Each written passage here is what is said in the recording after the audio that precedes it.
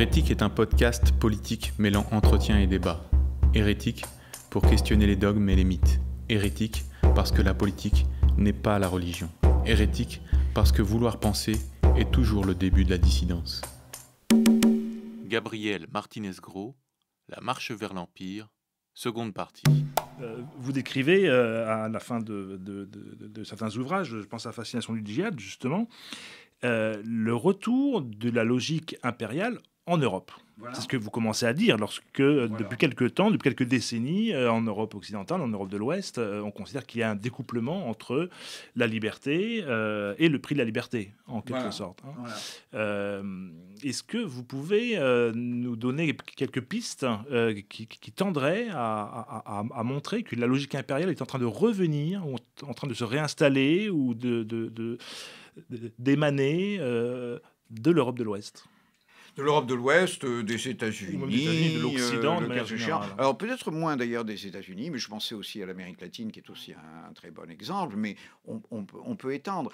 Euh, D'une manière générale, ce qui ramène l'Empire, euh, c'est la distinction qui ressurgit, qui avait totalement disparu naturellement dans nos, dans nos États démocratiques du 19e et de la première moitié du 20e siècle, entre bédouins et sédentaires, c'est-à-dire entre des masses désarmées et des marges euh, relativement armées, où peu, tôt ou tard, hein, euh, l'État ira chercher ses ressources de violence, euh, presque inévitablement. hein. Alors, d'une manière générale, sans doute en Europe occidentale, mais il faut le dire, partout dans le monde, la sédentarisation est en marche, c'est-à-dire le désarmement général du monde est en marche. Euh, il y en a trois, trois aspects euh, qui sont qu'on peut repérer à peu près partout maintenant, mais évidemment plus accentués en Europe occidentale qu'ailleurs. Euh, c'est l'urbanisation. Hein, vous avez ça aussi bien en Chine, un peu moins en Inde, mais aussi bien en Chine qu'en Amérique latine, qu'aux États-Unis, bien sûr, ou en Europe occidentale. La scolarisation. Bien, Khaldoun insiste beaucoup sur le fait que l'école, euh, qui n'était à son époque que le la préoccupation d'une petite minorité, évidemment, que l'école est aussi une manière de formater les esprits et même les corps. Il le dit, hein, c'est une manière de rester assis, euh, d'exprimer pour celui qui parle et qui est le maître euh, le respect de l'autorité, de parler d'une voix faible, euh, parce que euh, lui seul a le droit de parler d'une voix forte, etc. Et qui fait que, dit-il, hein, euh, en toutes lettres, hein, les étudiants, enfin ceux qui ont suivi les, longues années d'études de, de l'école, les étudiants ont généralement beaucoup plus de difficultés à répliquer aux agressions dans, dans, la vie de tous les jours hein, euh, que ceux qui n'ont pas fait, euh, qui n'ont pas suivi de- des, des études. hein. Euh, il, dit que les, étudiants sont incapables même de se défendre eux-mêmes. quoi. Ils ont besoin, ils sont tellement sédentarisés euh, qu'ils ont besoin de, de- l'appui, justement, de la puissance publique pour, euh, pour euh, se défendre. Et donc, ça, c'est le deuxième point, la scolarisation. Et le, dernier point, qui est en, qui est en marche partout, j'y- suis toujours très sensible, hein, c'est c'est la baisse de la, de la fécondité des couples. Hein, C'est-à-dire qu'aujourd'hui, il faut le savoir, les deux tiers des populations mondiales sont passés en dessous du taux de renouvellement des générations. Euh, C'est-à-dire que ces deux tiers des populations mondiales sont appelés à diminuer alors, leurs effectifs sont appelés à diminuer. Et d'ores et déjà, plus d'un quart de la population mondiale est constituée de euh, populations euh, dont les effectifs diminuent, y compris bien sûr la Chine. C'est ce qui fait qu'on atteint cette, ce, niveau de plus d'un quart, de 28% en fait, de, de la population mondiale aujourd'hui, dont, dont les effectifs euh, diminuent. Et ça, c'est aussi un des signes de la sédentarisation. Donc la sédentarisation est partout. Et c'est cette sédentarisation, c'est cette extension de la civilisation qui fait que presque inévitablement, au fur et à mesure que les moutons se multiplient, les loups apparaîtront. C'est si- inévitable. Et, et si le monde entier est en train de se sédentariser, Oui. où seront les marges? Ah ben, non. Où seraient les tribus Alors, il, il, il y a, alors euh, bon, on, on peut le voir effectivement dans nos pays, euh, nous ne nous cachons pas euh, les choses, hein, effectivement dans nos banlieues, il y a euh, toutes les raisons d'une réapparition euh, d'une forme de bédouinité, tout simplement. C'est ce qu'on appelle l'ensauvagement aujourd'hui. Absolument. Tout simplement parce que il y a une forme d'inversion des valeurs. hein.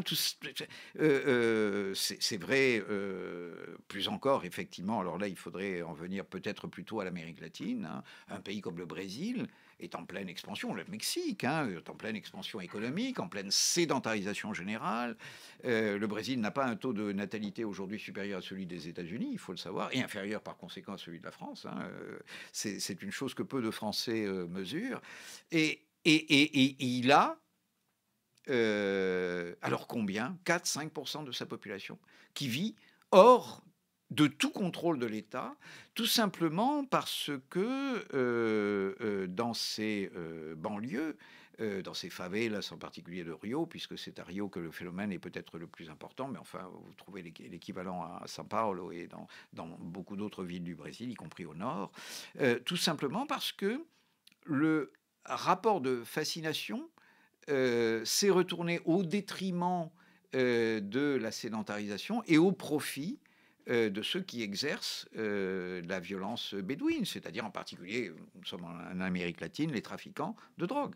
hein. Il est beaucoup plus euh, aisé euh, d'engager un, un jeune garçon, en particulier un jeune garçon, euh, dans euh, l'aventure exaltante euh, des armes, du trafic de drogue et de l'argent relativement facilement gagné, hein, que de l'engager euh, dans euh, les ennuis euh, d'un apprentissage scolaire qui ne lui apportera en outre, étant donné le milieu d'où il vient, les handicaps culturels qui sont ceux de sa famille et de son, de son milieu, de son, de son quartier, qui ne lui apportera le plus souvent qu'une vie assez, assez médiocre. Et donc, en fait, il y a dans le choix de la bédouinité quelque chose de très profondément rationnel.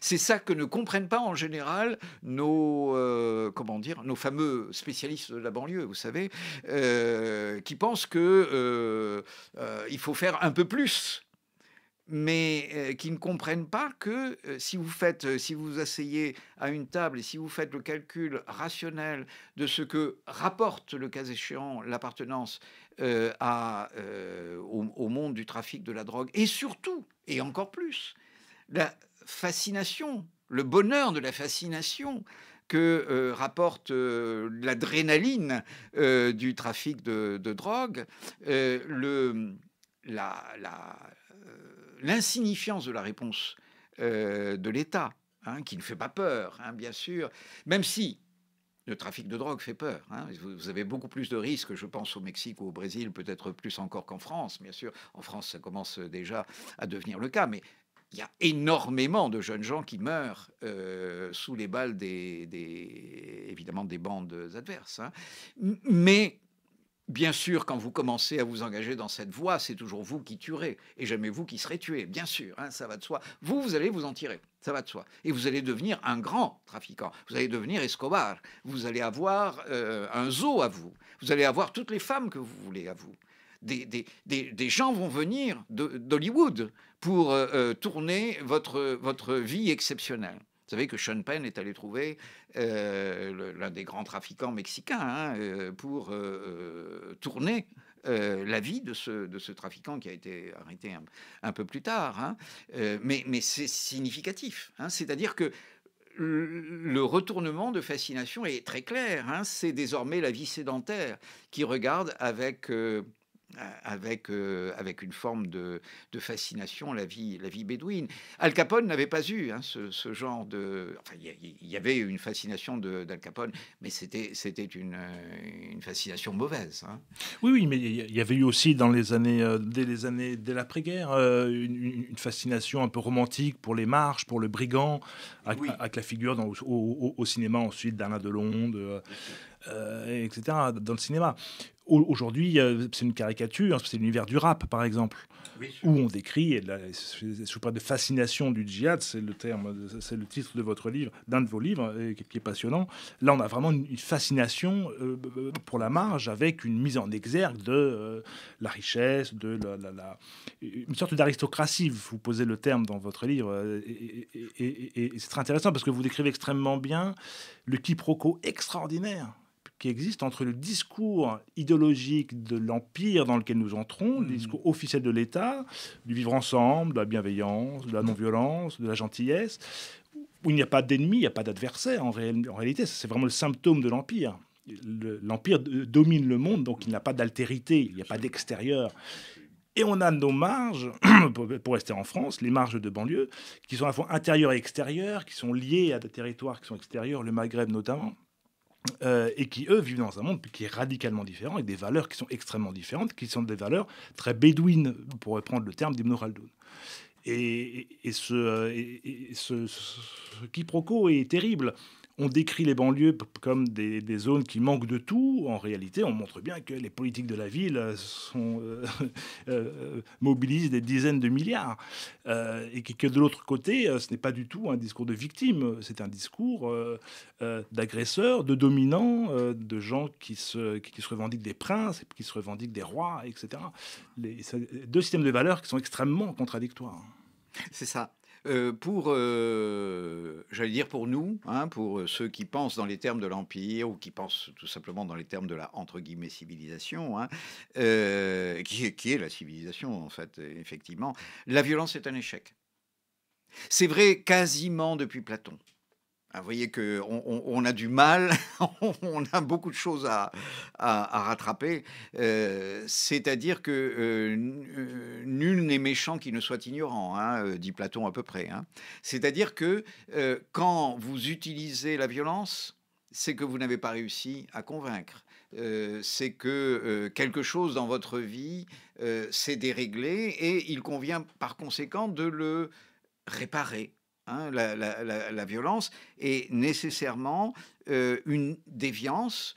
Euh, une déviance qui vous fait mal, à vous, violent, bien sûr, hein, euh, et, et que on va essayer de, réparer. Il y a un manque ou une souffrance Toujours à, un manque et à une souffrance, oui. oui. Il faut absolument, dans le discours que vous tenez sur les banlieues, euh, si vous tenez à le, le proférer euh, dans des milieux euh, capables de vous accorder leur bénédiction, c'est-à-dire au milieu qui nous dirige, il faut absolument, absolument, effectivement, décrire les banlieues comme des espaces du manque. Hein, c'est le mot clé. Si vous n'employez pas le mot il manque de, vous ne passez pas. Hein, vous ne passez pas. Le discours ne peut pas passer auprès des civilisés. Et c'est un manque qui doit être attribué à l'Empire, qui est maître de tout. Bien sûr. Et ça, c'est la, ça, fait penser évidemment au discours de Daniel Siboni, qui est psychanalyste et qui parle, lui, d'un affect très dominant aujourd'hui, qu'il appelle la, la, culpabilité narcissique. C'est-à-dire. Oui, absolument. Euh, euh, absolument. Bravo. Le, sédentaire qui culpabilise, mais s'il culpabilise du manque de l'autre, c'est parce que si l'autre manque, c'est de sa faute. Bien sûr. Si l'autre est violent, c'est parce que je n'ai pas été à c'est bon avec lui. Et que, donc c'est un circuit. Et de l'autre côté, on a une, sorte de complotisme victimaire où tout ce qui arrive de mal est dû euh, à l'Empire, au sédentaire, puisqu'effectivement, le sédentaire a ce même discours-là. Donc, il y a un emboîtement euh, et un, cercle vicieux qui est très. un emboîtement des perversions, en quelque sorte. Absolument. C'est ce que j'appelle le tiers-mondisme. Hein. Le tiers-mondisme, tout à fait. C'est ce que j'appelle le tiers-mondisme, c'est-à-dire que euh, l'Occident euh, accepte la culpabilité pour rester au centre de la scène du monde. Euh, et, donc cette acceptation de la culpabilité est utilisée par ceux qui ont euh, quelque intérêt à, cette culpabilité, qui, en tirent des bénéfices et des ressources. la seule manière de décoloniser le monde, c'est précisément de, rompre avec euh, cette, euh, cette logique perverse hein, que, vous, que vous décriviez très bien. Et c'est ce qui est en train de se passer, en fait. Hein. On ne le mesure pas, mais c'est ce qui est en train de se passer dans une large part du monde. Et c'est ce qui rend l'Occident extrêmement euh, nerveux, si j'ose dire. Hein. la Chine, en fait, ne nous renvoie plus cette image. En fait, pour une large part, nous sommes indifférents. Euh, L'Inde nous la renvoie de moins en moins. Nous sommes très largement indifférents à l'Inde.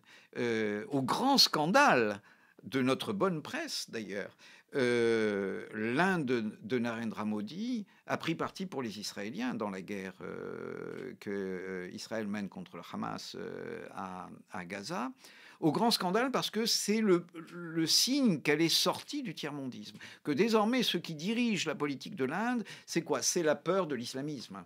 Ah, c'est pour ça que euh, les Indiens soutiennent Israël. C'est pas parce que les souvenirs de la Shoah les submergent euh, et qu'ils sont euh, moralement, moralement travaillés par, par, ce, par le, les épreuves des Israéliens. C'est tout simplement qu'ils se disent après eux, ce sera nous.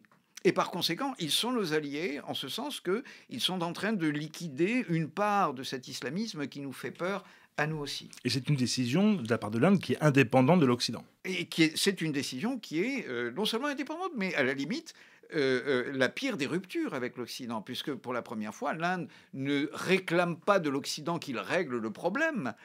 L'Inde décide de le régler elle-même. Hein, voilà, c'est tout simple. Hein, euh, c'est à partir du moment, et, il en est de même dans l'islam, très curieusement. C'est-à-dire que en Occident, la cause palestinienne reste extrêmement populaire, alors que dans la grande majorité euh, des commentaires musulmans sur euh, la, même sur la guerre de Gaza, c'est l'islam qui est en cause. Hein, je veux dire que c'est à l'Aqsa D'ailleurs, c'est ce que, ce que c'était le nom de la de l'opération de, Hamas, hein, c'est-à-dire euh, Toufen al-Aqsa, le, déluge de l'Aqsa. Hein. Toufen, c'est le c'est le déluge au sens biblique du terme, hein, c'est le déluge de Noé euh, en arabe. Et donc euh, euh, il n'y a, pas de cause palestinienne. Il y a, y a fondamentalement la cause de l'islam. Hein, mais, mais l'Occident veut, enfin, autant qu'il est possible. Je pense à notre presse, euh, euh, comment dire, euh, autorisée, autorisée, hein, le Monde en particulier. Hein. Pour le Monde, si la cause palestinienne s'effondre, tout est fini. Tout est fini parce que le tiers-mondisme est, mort. Hein. je veux dire, et l'Occident n'est plus au centre de la scène. Il n'est plus qu'une part importante encore, sans doute encore majoritaire, mais il n'est plus qu'une part de une ère de civilisation parmi d'autres dans le monde. Dans un monde multipolaire. Et dans un monde multipolaire. Et ça, c'est insupportable. En fait, c'est ça qui est insupportable pour, euh, pour l'Occident. C'est là que nous avons euh, notre responsabilité, alors justement, et notre euh, culpabilité dans une certaine mesure. Hein. je, je, ne vais pas dire qu'il nous faut aider les islamistes dans leur petit travail, qui est particulièrement odieux et particulièrement ignoble par moments, comme, comme on l'a vu ces dernières semaines. Mais en fait, la poussée de l'islamisme euh, élimine à l'intérieur du monde musulman le tiers-mondisme. Et au bout d'un certain temps, étrangement, hein, cette poussée de l'islamisme fera en sorte que euh, l'islam considérera l'Occident avec de plus en plus d'indifférence. Notez, euh, regardez, c'est beaucoup plus loin que le Hamas, évidemment, hein, mais ce qui s'est passé en, en Afghanistan en 2001 et en 2021. En 2001, L'Afghanistan, c'est Ben Laden, euh, et c'est d'Afghanistan que part l'expédition des, si j'ose dire, l'attentat du, World Trade Center, d'où l'intervention américaine en Afghanistan, etc. Vingt ans plus tard, les mêmes talibans aussi euh, ignoble que d'habitude pour ce qui concerne le droit des femmes, etc. Bon, euh, la musique, qui, est totalement interdite, euh, les œuvres d'art du musée de Kaboul, qui, sont, qui seront au mieux dissimulées et au pire détruites. Ces mêmes talibans reviennent au pouvoir, mais il y a une chose qui a changé, c'est qu'ils n'osent j'espère qu'ils ne sont pas en train de le faire en ce moment, mais ils n'organisent pas immédiatement un attentat contre l'Occident. Je veux dire, il y a une forme d'indifférence à ce qui est l'Occident, et probablement beaucoup plus au contraire, s'il y a un projet de djihad chez les talibans, il y en a chez, au moins chez une part des talibans, il est dirigé vers le Pakistan et vers l'Inde. C'est-à-dire que l'Occident n'est plus au centre du monde. Il est en train d'être marginalisé. Il est en train d'être marginalisé. Et c'est très bien comme ça. Enfin, je pense que c'est très bien comme ça. C'est une des manières, étant donné notre sédentarisation, c'est-à-dire notre, euh, notre phobie euh, du combat, et du conflit et de la guerre, c'est une des manières, assez pleutre peut-être, hein, je ne sais pas, mais c'est une des manières que nous avons de nous en tirer. Euh, on n'a pas l'impression qu'on va s'en tirer. Oui, c'est vrai. C'est pas fait. Hein. Je veux dire simplement qu'il ne faut pas imaginer que l'ensemble du monde, désormais, euh, a, les, yeux fixés sur nous. De plus en plus, euh, il y a des mondes qui se remettent en mouvement comme ils l'étaient il y a 300 ans en 1750. Par exemple, la, euh, la bon, c'était même pas le cas il y a 300 ans, mais la, rivalité fondamentale du monde de la deuxième moitié du XXIe siècle, ce sera la rivalité Inde-Chine. Hein, les États-Unis ne, seront que le troisième larron. Mais est-ce que ce sont des rivalités euh, Parce que nous, on parle de rivalité en Occident, nous sommes habitués à, des rivalités entre nations, oui. entre États-nations, qui sont une, configuration géopolitique qui n'est pas du tout impériale. Est-ce que vous voyez dans le, dans la, dans le monde multipolaire hein, euh, une reconfiguration de type impérial, justement, qui serait axée autour de grandes civilisations. En Europe, on a l'impression que l'Union européenne joue le jeu de, de, de, est, l'incarnation de l'empire. Est-ce que ce sera la même chose en Chine, en Inde, en Russie, euh, en, Amérique du Sud? Alors, je pense que en Russie ou en Amérique du Sud, non. Hein, en, fait, euh, on, essaye absolument de se, convaincre du contraire, mais euh, la Russie et, l'Amérique du Sud, ce sont des parts de l'Occident. Hein. Et fondamentalement, évidemment, leur histoire, c'est l'histoire de l'Occident. Si vous prenez l'histoire de l'Amérique latine, c'est oui, l'Amérique latine. C'est l'histoire de nation, hein, fondamentalement. Hein. La Russie est beaucoup plus hybride quand même. La Russie C'était un empire durant très longtemps. Un peu plus hybride, mais elle n'a pas la taille de l'empire. Hum, elle n'a pas, la taille. Hein, elle n'a pas la taille. C'est moins de 2% de la population mondiale, la Russie. Les seuls pays qui est, enfin, euh, pays euh, représentés aux Nations Unies, euh, qui est la taille de l'empire, c'est l'Inde et la Chine. Même les États-Unis ne l'ont pas. Hein. L'Inde et la Chine, parce que, euh, bah, avec 1,4 milliard d'habitants, vous représentez 17, 17% euh, à peu près de la population mondiale, hein, c'est ça. Et, donc, vous avez à peu près euh, la taille qu'il faut et, l'Afrique, quand même, qui est une grande source de, population au moins. Oui, alors euh, l'Afrique va connaître effectivement une croissance euh, démographique, euh, la dernière grosse croissance démographique du monde, hein, puisque le reste du monde est pratiquement dans une situation de, de stabilisation de la population. Mais en fait, l'Afrique est un continent extrêmement divers, donc personnellement, je pense euh, qui va briser euh, au moins selon deux ou trois lignes de fracture euh, d'ores et déjà assez évidentes, d'une part entre l'Afrique musulmane et celle qui ne l'est pas. L'Afrique musulmane, c'est à peu près le tiers hein, de l'Afrique subsaharienne. Hein, je parle de l'Afrique subsaharienne. Et les deux tiers qui ne sont pas musulmans. Euh, et d'autre part entre une Afrique anglophone et une Afrique francophone, hein. euh, et euh, peut-être aussi, mais c'est à peu près la même chose, entre une Afrique de l'Est et une Afrique de l'Ouest. Entre, c'est la fracture peut-être la plus importante pour l'instant, l'Afrique musulmane et l'Afrique non musulmane, la rupture, sans qu'on s'en rende compte en fait, en particulier en Occident, s'accentue, en particulier par la langue. Je veux dire, par la popularité croissante des langues européennes, euh, et, c'est un développement foudroyant dans les 40 dernières années ce qui est peu hein, à l'échelle de l'histoire et à l'échelle de l'adoption d'une langue. Le, développement foudroyant de l'anglais, du français, plus encore d'ailleurs du portugais euh, en Angola et au Mozambique, ce qui est frappant dans le cas du portugais, en particulier en Angola, c'est que vous avez, si je ne me trompe pas, presque 30% des Angolais qui considèrent que le portugais est leur langue maternelle. Ah, ça, ça, ce sont des chiffres qu'on n'atteint pas encore dans les euh, pays francophones et anglophones, c'est-à-dire de gens qui considèrent que le français et l'anglais sont leurs langues euh, maternelles. Mais vous avez 10% euh, déjà hein, de gens qui disent oui, oui, le français ou l'anglais est ma langue maternelle. Et on peut penser, dans les pays de l'Afrique non musulmane, 40-50% de gens qui parlent réellement euh, l'anglais ou le français grâce à la scolarisation euh, active. Dans les pays musulmans, vous tombez, qu'il s'agisse du français ou de l'anglais, ou même du portugais d'ailleurs au, Mozambique, dans le nord du Mozambique, euh, vous tombez à des, à des niveaux de l'ordre de 10-15%. Ça n'a rien à voir entre le Mali et surtout le Niger ou le Tchad. Alors là, c'est bon. et je ne sais pas moi, le Gabon ou la Côte d'Ivoire, vous, êtes dans des univers complètement différents. Alors, aujourd'hui, très curieusement, l'extension même des langues européennes favorise le, panafricanisme. Évidemment, puisque on se comprend, hein, euh, de Kinshasa à Abidjan ou de Kinshasa à Conakry, on se comprend. Et on reste dans la dépendance à l'Occident. Et là, on reste dans la dépendance à l'Occident. Dans cette Afrique-là, on reste effectivement dans la dépendance à l'Occident, l'autre non. C'est comme par hasard, remarquez que c'est dans l'autre Afrique, et l'Afrique musulmane, hein, bien sûr, parce qu'elle a été, elle est en but au, djihadisme, que euh, la rupture avec la France en particulier, puisque la France a été plus, comment dire, euh, plus imprudente euh, que l'Angleterre dans sa politique, dans sa politique africaine, elle était beaucoup trop présente en fait, hein, à la différence de l'Angleterre. C'est là que se produit la rupture, mais pour l'instant.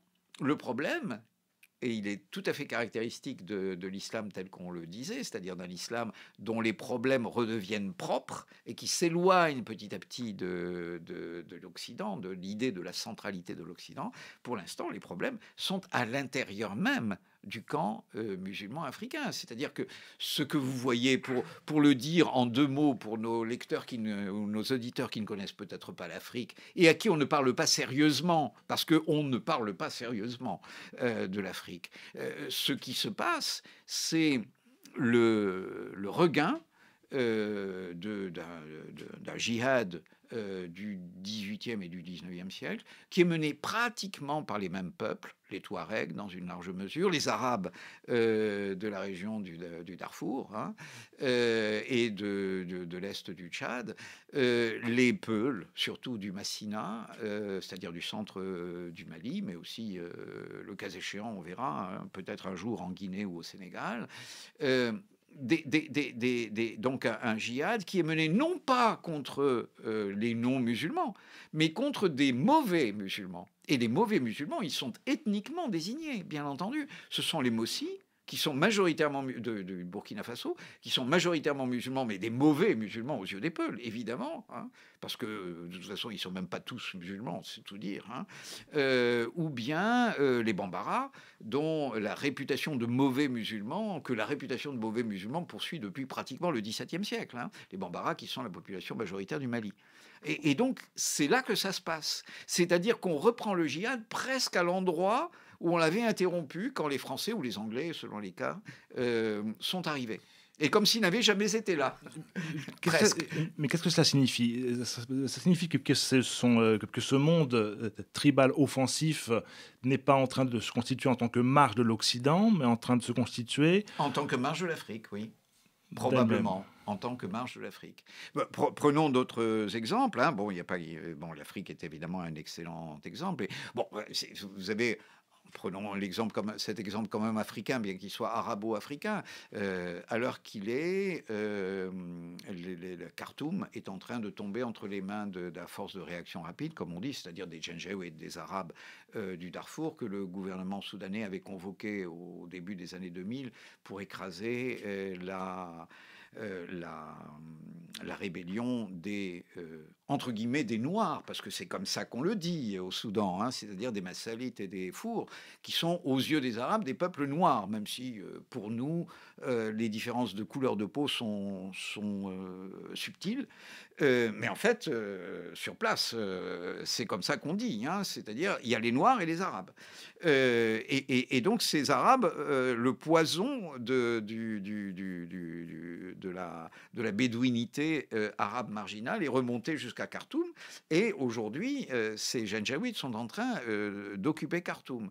Lorsque la guerre civile a commencé, c'était au mois entre l'armée et ces Janjaouides, c'était au mois d'avril tous les bons experts, et ce sont des bons experts, hein, je, ne, nie pas du tout, du Soudan, ceux qui ont passé leur vie à étudier le Soudan, tous étaient unanimes, ces gens ne pouvaient pas gagner la guerre contre une armée constituée qui avait une aviation, des, blindés, etc.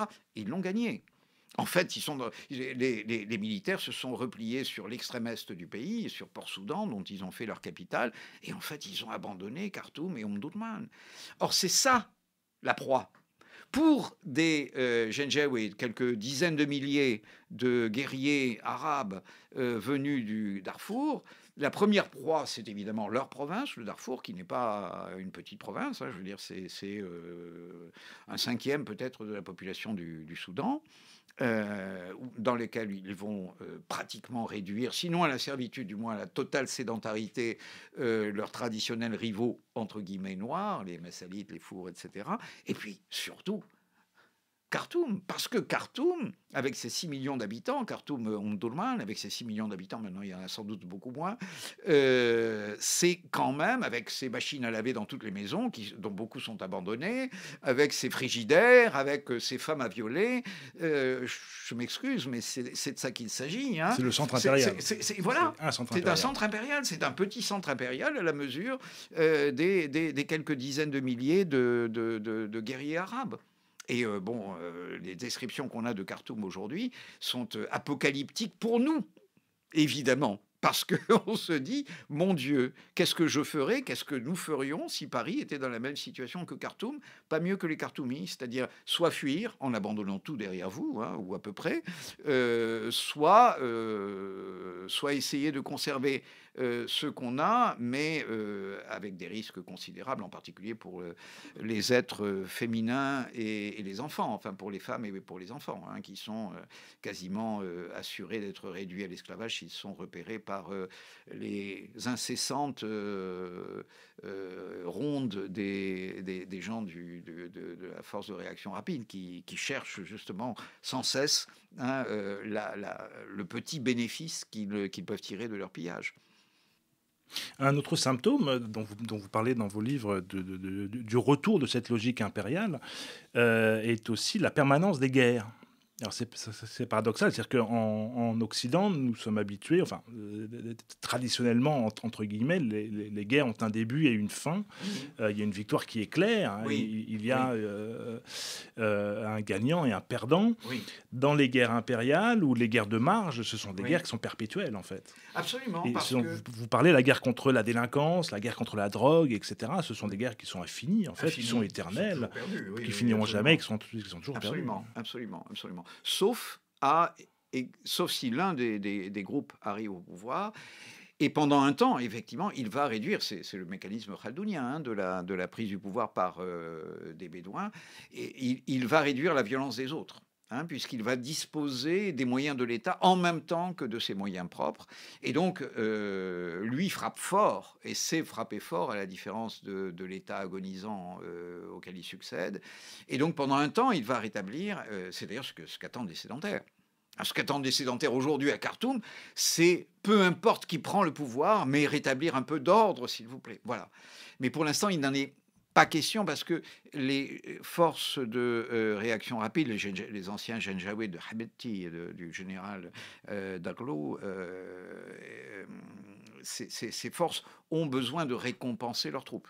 C'est-à-dire que le pillage doit se poursuivre au moins pendant un certain nombre de mois, qu'il y ait un certain nombre de viols et de vols pour que ceux qui sont venus combattre aient la récompense de leur combat. C'est d'une simplicité élémentaire, mais euh, c'est dans ce monde-là que nous sommes en passe de rentrer. Hein. Et en même temps, autre symptôme, qui, qui, à ma foi très paradoxal et, très complémentaire, euh, l'idéologie euh, impériale était un discours de paix, c'est un discours de non-violence, on, l'a parlé, et qui devient aujourd'hui une, quasi-religion. Vous en parlez dans le, le, tout dernier livre, La traîne des empires, impuissance et religion.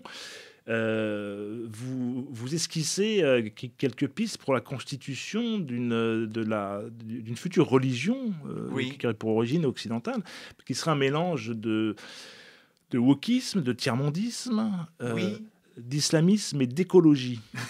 oui, ça fait beaucoup. Ça fait beaucoup, mais en même temps, on, sent effectivement à suivre un peu l'actualité qu'il y a quelque chose qui est en train de se, de se, de se tisser, euh, des ponts qui se tissent. Tout à l'heure, on parlait euh, hors émission de l'affinité entre euh, les woke et l'islamisme. Euh, on voit les LGBT qui soutiennent le Hamas. Je suis pas sûr que ce soit. Oui, oui, C'est pas du tout, c'est pas du tout réciproque, mais on voit des convergences qui sont euh, très baroques, mais qui ont une logique interne. Oui. et qui effectivement relève de la, de, la, de la haine de l'Occident, en fait. Comme si l'Occident devait être d'une culpabilité infinie, mm, mm, il, devait continuer à être désarmé au profit d'autre chose.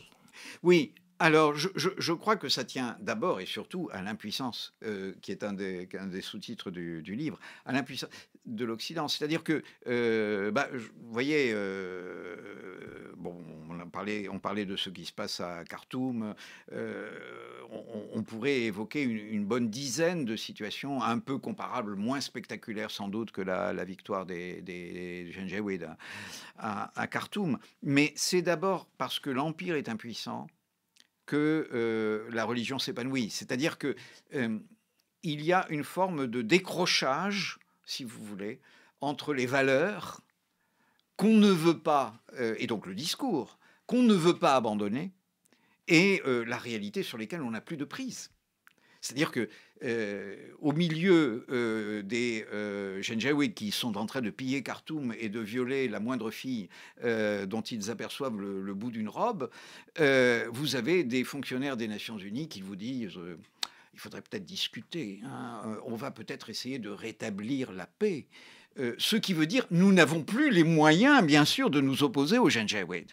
Hein, ils ont gagné la guerre, en fait. Et comme nous avons nous avions l'habitude de parler euh, mal, mais euh, difficilement avec le gouvernement militaire soudanais, parce que c'était tout de même une armée, quelque chose qui ressemblait à un État. Mais avec ces gens, comment voulez-vous discuter? Eh bien, justement, euh, c'est là qu'on retrouve le discours que vous nous serviez tout à l'heure et qui est très, très juste, c'est-à-dire nous avons dû faire des erreurs. C'est à nous que revient l'erreur nécessairement, puisque nous devons être au centre du monde. Ne nous dites pas que nous ne sommes plus au centre du monde. Ne nous dites pas, messieurs les jeunes que euh, nous ne vous importons pas du tout. Tenez, on va vous donner de l'argent si vous voulez, mais pour que vous discutiez avec nous. Et les Janjaouides vont accepter l'argent. Et même, ils vont accepter des discussions et des conversations dont ils savent très bien que ça ne sert à rien, bien entendu, mais qui leur permettront de recevoir, euh, d'une part, des aides des organisations internationales, d'autre part, euh, des aides des ONG, etc. C'est toutes ces aides et tout ce monde, hein, celui des ONG, celui des organisations internationales, etc., n'est plus destiné qu'à cacher notre impuissance. Hein, c'est ça d'abord. C'est une rationalisation. Euh, la religion, c'est une rationalisation de l'impuissance. Et la religion, c'est d'abord une rationalisation de, de l'impuissance. Quand l'empire n'est plus capable de s'opposer aux barbares, il dit il n'y a pas de barbares. Il n'y a pas de barbares. Euh, c'est ce que disent les chrétiens au IVe siècle d'ailleurs. Hein. Euh, effectivement, les Visigoths, les, Burgondes, les Ostrogoths, etc., pillent un peu quelques villes, euh, les Francs d'ailleurs aussi, pillent un peu quelques villes. À partir de 270, ils pillent quand même beaucoup. Hein. C'est la, la première grande incursion. Toute la Gaule pratiquement est, couverte par les incursions barbares. Hein. presque toutes les villes sont pillées entre 270 et 273. Donc, bon, bah, l'Empire s'arme, il essaye de résister, il résiste d'ailleurs assez bien pendant plus d'un siècle encore, et puis, paf, de nouveau, le front euh, cède complètement. Et à ce moment-là, l'Église, qui triomphe précisément au moment où le front cède, hein, c'est assez frappant, hein, ça va poser d'ailleurs des problèmes à des hommes comme Saint Augustin. Est-ce que nous sommes responsables? On dit que nous sommes responsables du fait, que le front a cédé. Non, c'est que l'Empire est effectivement de plus en plus impuissant. La religion prend le relais en disant c'est pas grave. C'est pas grave, ce ne sont pas les bar... Qu'est-ce que c'est que ça, les barbares? Mais finalement, ils ne demandent qu'à être chrétiens, comme nous. Et voilà, bon, on, va faire comme l'Empire, on va rétablir une forme d'ordre, mais non pas par euh, la violence, puisque de toute façon, nous ne l'avons plus, la violence. Ça, c'est entre parenthèses, en général, on ne le dit pas. Hein. Euh, on dit, euh, nous ne sommes pas violents par principe. Mais en réalité, nous ne sommes pas violents parce que nous n'avons plus les moyens de la violence. Hein, voilà, tout simplement. Et, donc, euh, euh, on, va, puisque nous n'avons plus les moyens de la violence, les convertir à notre discours. Du moment qu'ils acceptent notre discours, euh, ils pourront faire ce qu'ils veulent hein, pour le reste. Ils veulent violer, ben, ils violeront. Bon, tant pis. Hein, mais qu'ils s'inclinent devant l'Église Au moins pour les apparences. Je veux dire, euh, oui, les apparences, oui. Hein. Qu'il donne des interviews au monde, quoi. Enfin, je veux dire, vous voyez, s'ils ne reçoivent même plus les journalistes du monde, où allons-nous? Où allons-nous? Voilà, bon, c'est là que nous en sommes à peu près. Et alors justement, vous parlez de l'Empire romain euh, et on compare euh, très souvent la situation actuelle avec la situation de l'Empire romain. Alors tout dépend des époques, évidemment. Alors, on renvoie immédiatement que, donc ça reviendrait à, considérer les immigrés euh, comme des barbares, ce qui est vrai et faux, puisque dans l'Empire romain, on a des barbares qui se romanisent extraordinairement, qui deviennent même empereurs, on, l'a dit, et au contraire, on, a des Romains qui se barbarisent. Mmh, mmh, mmh. dans quelle mesure la comparaison avec l'Empire romain aujourd'hui euh, est, pertinente pour vous et à, quelle autre époque vous compareriez la situation de l'Europe aujourd'hui, l'Europe de l'Ouest? Ah, d'une manière générale, à, un empire dans sa difficulté. Hein. Vous avez, c'est à peu près à la même époque que l'empire romain cède et l'empire chinois. Hein. Je veux dire, c'est, ils sont à peu près étrangement euh, contemporains. Bah, euh, il y a bah, mon cher Ibn Khaldoun hein, et vit dans un monde euh, lui qui est d'origine arabe, hein, sa famille était euh, d'origine arabe. Euh, il a été, les Arabes ont d'abord été, sa, famille a d'abord été en charge des fonctions de violence, évidemment. Ils ont été parmi les conquérants de l'Empire arabe au, 8e siècle, en particulier des conquérants de, l'Espagne. Et puis, peu à peu, au fil des, générations, ils ont été déchargés des fonctions de violence au profit des fonctions de ben de, civilisation, des fonctions euh, de, d'enseignement, des fonctions d'administration civile de l'État. Euh, c'est à peu près ça.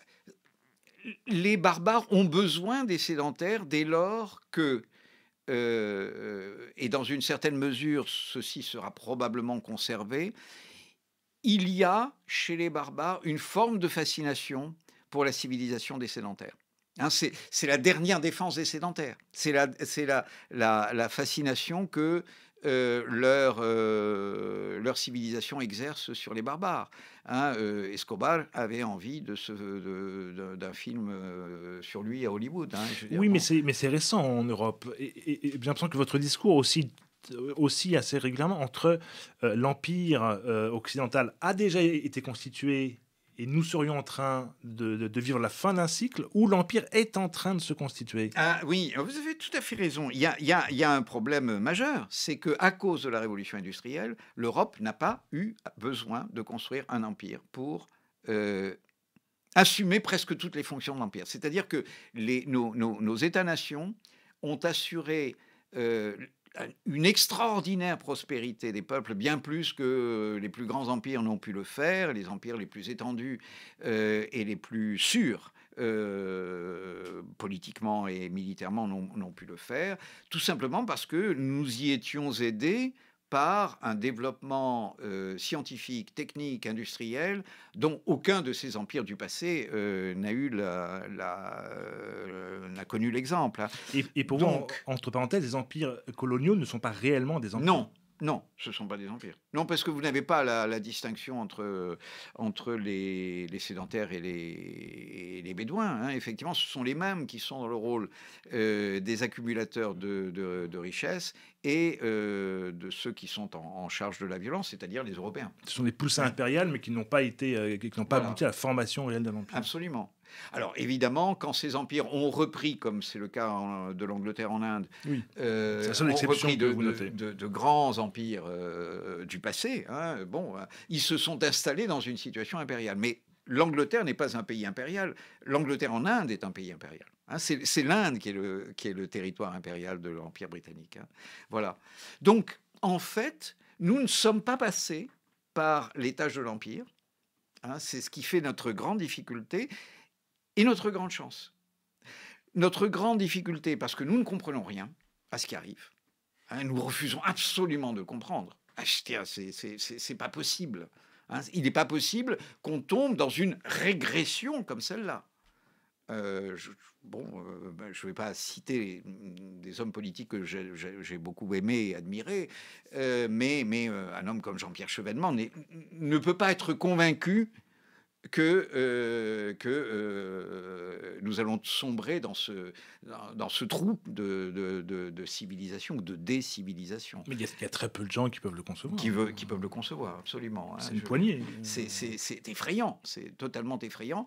Et donc, euh, c'est à la fois euh, euh, un manque, c'est-à-dire qu'effectivement, on n'est pas très lucide en apparence, et en même temps, c'est une chance, parce qu'on n'est pas prêt à accepter la chose. C'est- notre seule chance, c'est qu'on est, reste attaché, enfin la majorité euh, des peuples d'Occident, et alors en particulier aux États-Unis, je pense honnêtement, hein, euh, peut-être plus, enfin je sais pas, non, non, en France aussi, je, pense, en Angleterre. Euh, je ne serais pas tout à fait sûr pour euh, des pays comme l'Espagne, comme l'Allemagne, qui ont une histoire un peu, une, histoire de désarmement forcé, hein, en quelque sorte. hein. Je pense à l'Allemagne en particulier, bien sûr, après 1945. Mais la plupart de nos peuples, alors je pense les peuples d'Europe centrale, certainement, sont attachés à la forme de l'État-nation, croient à la nation, et ne sont pas décidés à accepter le marché que leur propose la réalité impériale. Hein, la, réalité impériale qui, qui arrive, c'est-à-dire la division entre sédentaires et bédouins. Évidemment, dans le reste du monde, hein, c'est différent. Je veux dire que pour l'instant, en Chine, il n'y a pas de barbares, mais s'il réapparaissait, si la Chine avait besoin, par exemple, euh, d'exercer des fonctions de violence sur des théâtres extérieurs d'opération, je pense que les dirigeants chinois n'auraient aucun problème, à cause de l'histoire même de la Chine, à engager euh, des mercenaires pour le faire. Hein Alors je, ne sais pas du tout ce que seraient euh, ces mercenaires, mais euh, je, pense qu'il n'y a pas de problème. Euh, L'armée indienne, encore aujourd'hui, même si euh, les spécialistes de l'Inde me disent tu as tort, tu sais, il y a maintenant toutes sortes de nationalités à l'intérieur de l'armée indienne, mais enfin, l'armée indienne, encore aujourd'hui, est fondamentalement une armée punjabi, c'est-à-dire sikh, une armée euh, marath, hein, de, l'intérieur du Maharashtra, de l'État de Bombay, et en partie, évidemment, une armée népalaise, Gourkha, etc. Et puis voilà, quoi, les autres peuples, exactement comme euh, ils le font depuis euh, euh, l'époque de l'Empire moghol et auparavant même, depuis les conquêtes musulmanes ou du temps de l'Empire britannique, les autres peuples sont en général exclus, eux diraient dispensés. Hein, des, des, fonctions militaires. Il y a des militaires pour ça, il y a des militaires qui s'en occupent. Ce qui est une, une chose qui n'est pas encore absolument établie dans nos esprits. Il n'est pas absolument établi dans nos esprits que nous avons des minorités euh, qui nous protègent. Hein et l'armée est encore, les armées sont encore nationales en Les Europe. armées sont encore et, et, et constituées d'autochtones. Euh, en, en, en, Europe. Pour une grande oui, partie. En, oui, oui, absolument. Nous sommes absolument. encore dans le schéma de l'État-nation. De l'État-nation. Okay. De ce point de vue-là. Absolument. Absolument. Oui, oui. Euh, et c'est une de nos chances. C'est-à-dire, une de nos chances. En même temps, ça, exprime la profondeur de la crise. Parce que les gens sentent bien que cet État-nation est en train de se défaire, qu'ils y tiennent, qu'ils ont compris que la démocratie va avec, que sans cet État-nation, il n'y aura pas de démocratie, en fait, hein, que l'empire euh, que nous propose, la forme impériale que nous propose euh, l'Europe, enfin l'Union européenne, est une forme peu démocratique, hein, qui se préoccupe assez peu euh, du désir euh, des peuples ou de leurs décisions. Euh, et en même temps, je crois que nous avons du mal à payer le prix de la démocratie, bien sûr. Hein. Nous avons du mal à concevoir que la démocratie suppose le combat, que la démocratie suppose probablement le conflit, euh, et euh, donc, euh, il nous faut, d'une manière ou d'une autre, nous armer. Hein, c'est difficile. Vous venez d'entendre la seconde partie de l'entretien avec Gabriel Martinez-Gros, La marche vers l'Empire. Rendez-vous dans 15 jours pour un nouvel entretien. Vous pouvez retrouver les documents évoqués lors de l'émission ainsi que d'autres permettant de prolonger la réflexion sur notre site hérétique au pluriel.fr. Le podcast est disponible sur toutes les plateformes d'écoute.